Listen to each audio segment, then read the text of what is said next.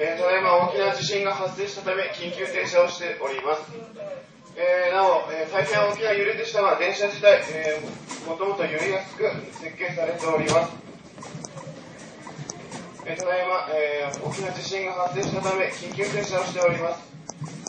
えー、なお詳しい状況につきましては、後ほど報告いたします。